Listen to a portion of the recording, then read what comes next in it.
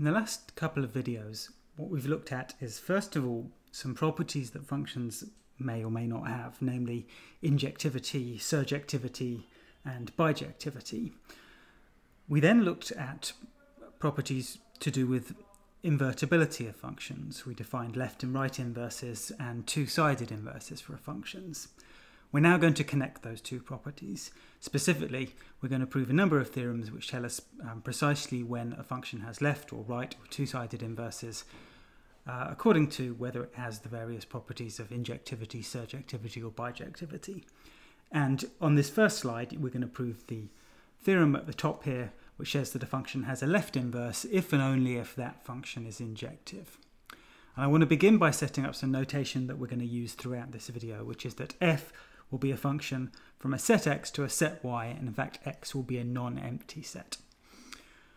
So let's try and prove the theorem on um, the theorem at the top of this slide here. A function has a left inverse if and only if it's injective. If you're struggling to remember any of the definitions, I've copied them all at the bottom of the page for you here. So we have um, two things to prove because this is an if and only if statement. So let's suppose first of all that f has a left inverse.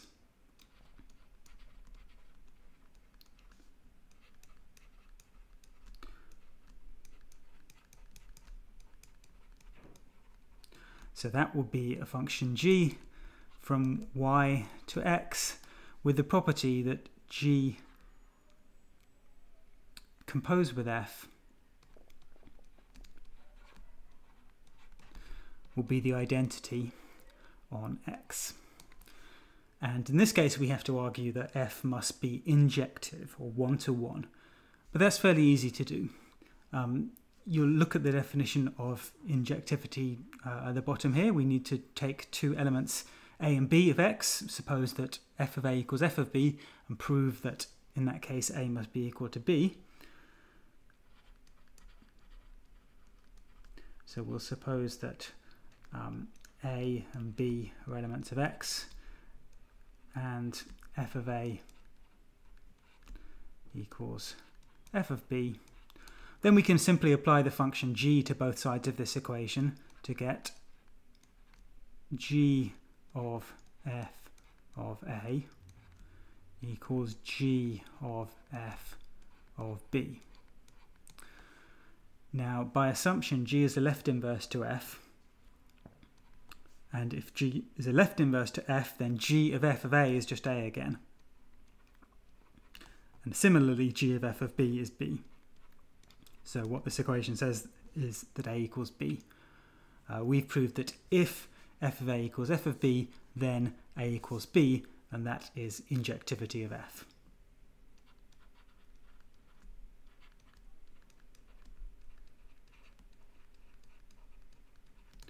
Okay, we now have to do the other slightly more complex direction where we show that if a function is injective, then it has a left inverse.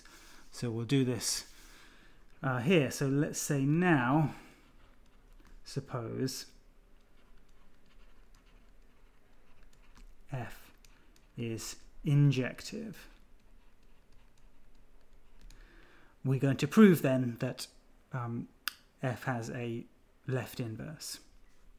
And we're going to do that by constructing a function which is a left inverse to f. And the construction we're going to use is going to look it's going to be the one that's illustrated in this diagram you can see on the right over here. So what the diagram is supposed to suggest is that the arrows pointing from left to right will be illustrating what the function f does, and the arrows pointing in the opposite direction from y to x will be illustrating what its left inverse is going to do. So let's begin. And, um, and the way our proof is going to start is by choosing at random uh, an element of the set x. So we're going to let x0 be any element in x. Uh, we just need this uh, in the course of the proof, as you're going to see. So we're now going to choose, we now we want to define a function from uh, the set y to the set x. And we're going to do that by thinking about a particular element of, um, of the set Y.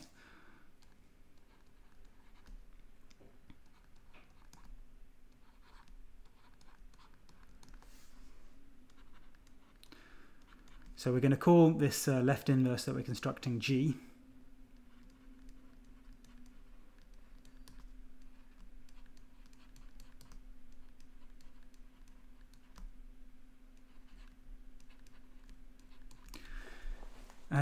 the way we're going to do it is as follows. We have to say what G does to an arbitrary element little y and big Y.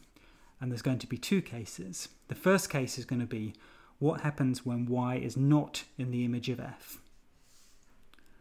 So if little y is not in the image of f, then in fact what g does to y doesn't matter as far as being a left inverse to f is concerned. The definition of being a left inverse to f means that g composed with f must be the identity. So that doesn't impose any restrictions on what g does to things which aren't in the image of f. So if y is not in the image of f, we simply define g of y to be this particular thing x0 which we fixed at the start. And as I say, it does not matter at all what x0 is. The tricky case is when y is in the image of f. And this is where we use the one-to-one -one property for f. So if y is in the image of f, then y is equal to f of x for a unique little x in big X. The reason that it's unique is because f is one to one. So if f of x1 and is equal to y and f of x2 is equal to y, then f of x1 is equal to f of x2, so x1 is equal to x2 by injectivity, by the fact that f is injective. Okay, so what we do is then we simply define g of y to be this unique x with the property that f of x is equal to y. Then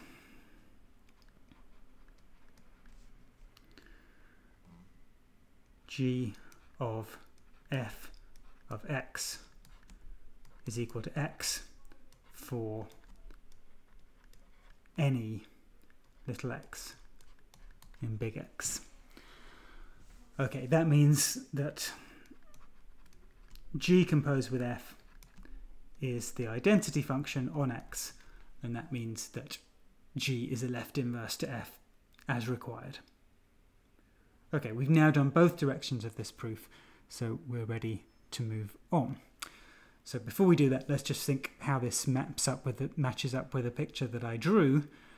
So over here um, in the picture, you can see that we chose this x0 in x.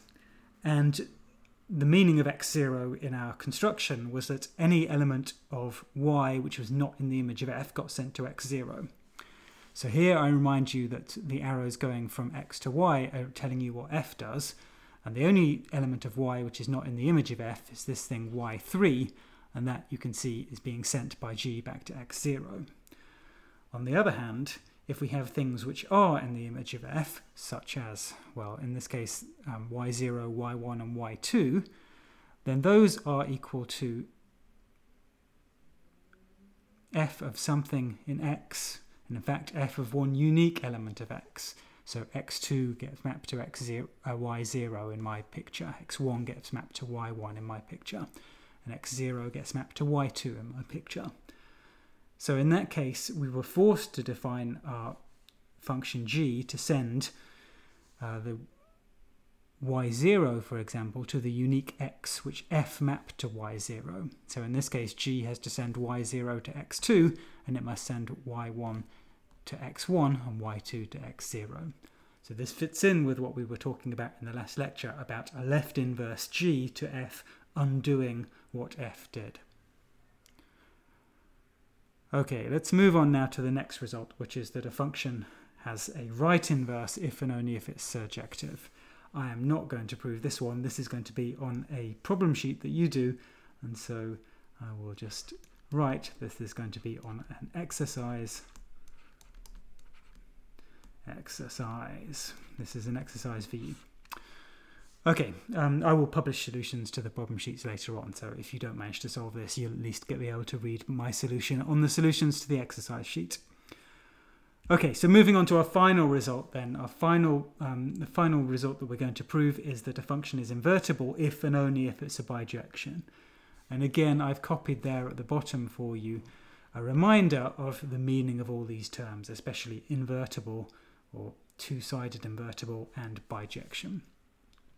So again, this is an if and only if statement, so we have uh, two things that we have to do. So let's first of all begin by um, supposing that we have our function f being invertible. So we'll suppose f is invertible.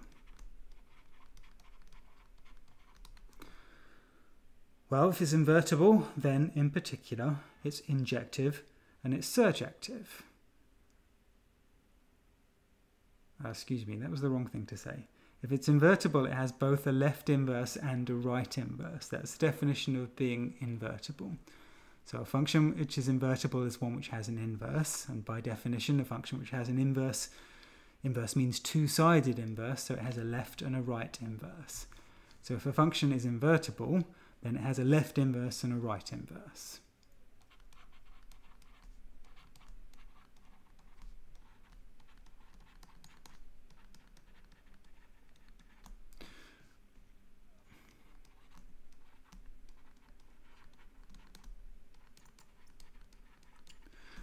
But we've already proved that if it has a left inverse, then it must be injective.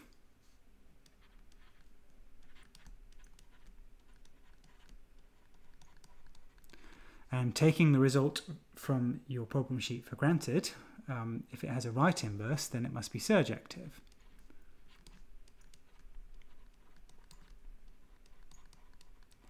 Okay, we've established that f is injective and surjective so when we put those two things together, that means that f is a bijection.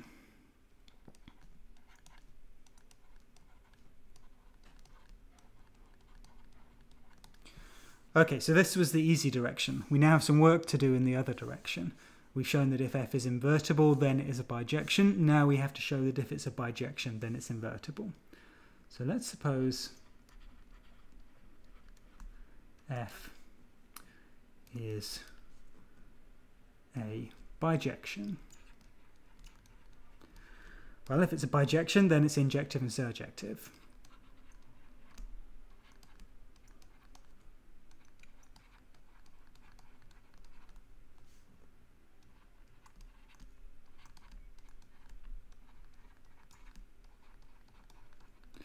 And again, using the results that we've already proved, if f is injective, it must have a left inverse.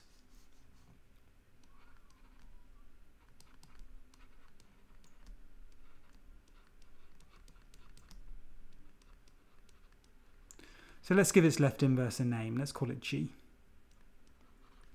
Equally, F is surjective. So, by the result from your exercise sheet, F has a right inverse.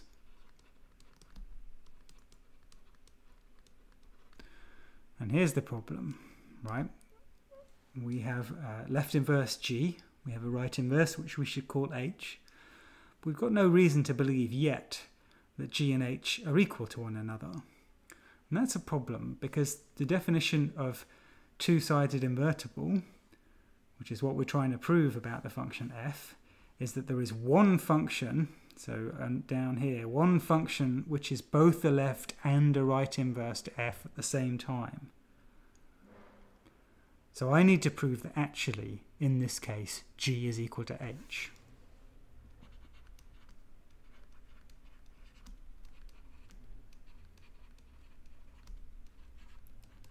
And once I've done that, I'll have found a function which is both a left and a right inverse to f and therefore I'll have shown that f is invertible. So this we can do just by playing a few games with composition. So what we're going to do is we're going to just exploit some properties of function composition. So first of all, g is equal to g composed with the identity on the right. So it should be the identity um, on the set y. Uh, remember that f is a function from x to y. Uh, that's because we proved that if you compose on either side of um, with the identity function, then you just get the same function you started off with. We did this a couple of lectures ago. Okay, so I'm now going to say, well, the identity on y, that's equal to f composed with h, precisely because h is a right inverse to, a, to f.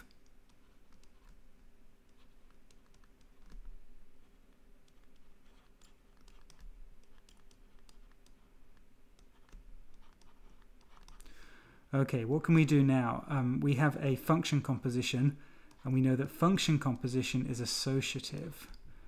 So I can re-bracket this like this, because function composition is associative. So let's just say by associativity.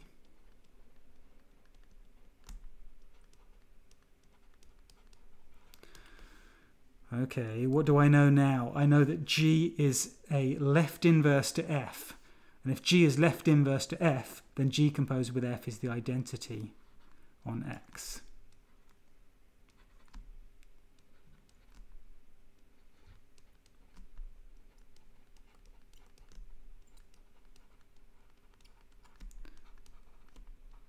And finally, as I said before, when you compose with the identity, you don't change anything. So the identity composed with H is just h again. So what have we got? If we follow these chain of equalities through, we've got g is equal to h. And therefore,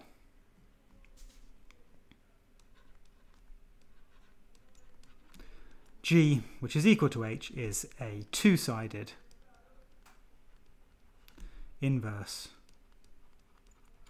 to f. Uh, we've shown that if f is a bijection, then it has a two-sided inverse, so we've completed our proof.